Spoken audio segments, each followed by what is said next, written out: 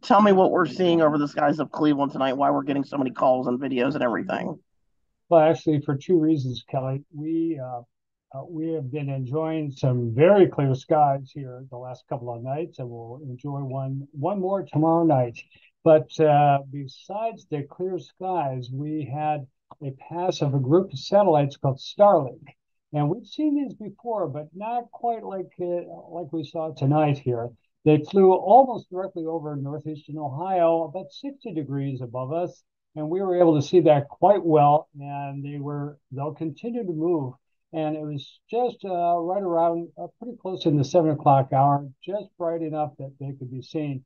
We may see them again, but uh, it's hard to say uh, because each successive time they go around the Earth, uh, their orbit changes, they spread out a lot more, and they're not nearly as bright. So so we got the best pass for them tonight. So a lot of fun. And with all the things uh, floating in the sky, we there's good reason to ask, what are those up there?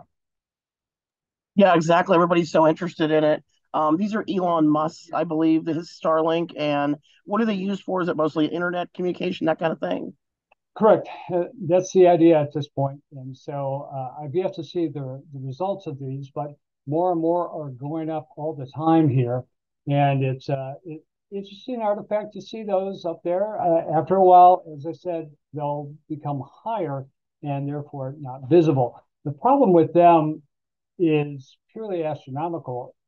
That when we're photographing the heavens, looking for asteroids that could actually come into contact with Earth at some point, the Starlink uh, satellites actually smear everything out. There's just horizontal lines. It looks like a cat or something scratched across the uh, the image, and it is interfering more and more because uh, I forget how many of these Starlinks that they still have to send up there. But uh, but aside from from that, it's interesting that people are taking uh, taking advantage and having a look up, especially with these warmer temperatures like this. Yeah, and I want to ask you too. I have to ask you since I have you here.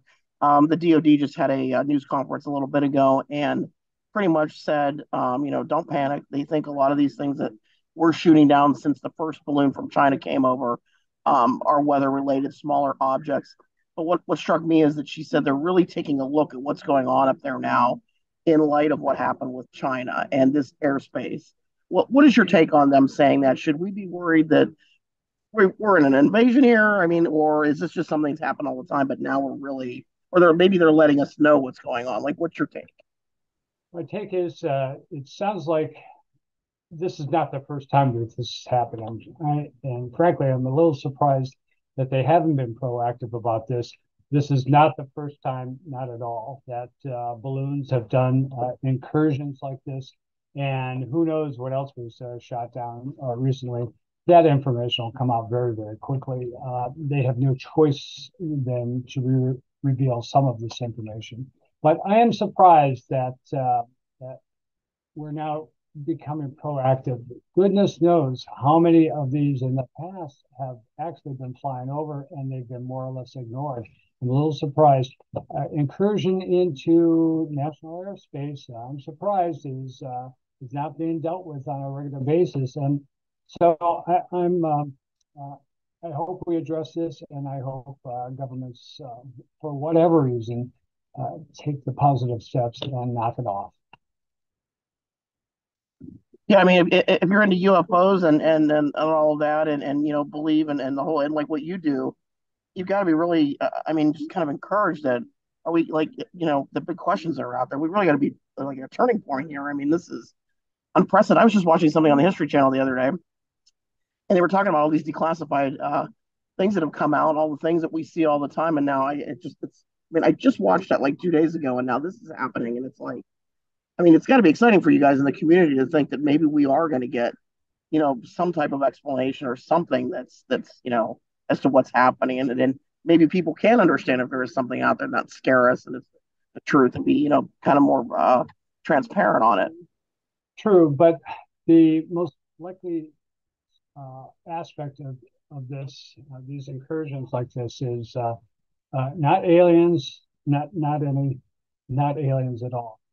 that foreign governments are launching perhaps scientific payloads. Uh, that balloon uh, from China, it could have literally be uh, atmospheric investigation, uh, purely scientific. It can get away from you, absolutely.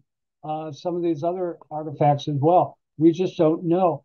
And even though on some of these documentaries that we see where the United States is releasing information about, well, here's an image of this, here's an image of that, but they will not release the technical data behind those cameras, behind those images there. In order to be accepted by the scientific community, we have to have all the information, not just the, the graphic or the image itself moving through the sky. That's not enough. We need to have all the information. That's the power of science. Reveal it to everyone, and everyone has an equal crack at it. And it must be met with the most critical, the most uh, skeptitude to it. So, but anyway, yeah, I'm glad that um, that we're seeing more and more is being uh, revealed to us.